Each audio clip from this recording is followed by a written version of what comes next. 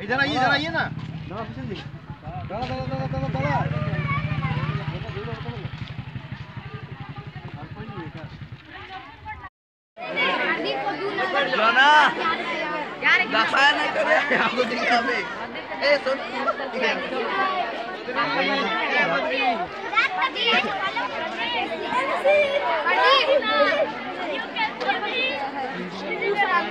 करे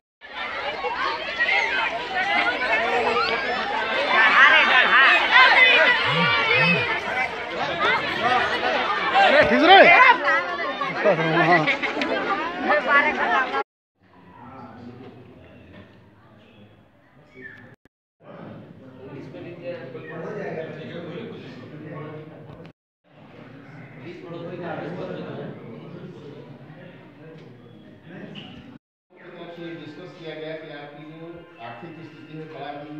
दयनीय है इसके हिसाब से आप लोगों ने स्कूल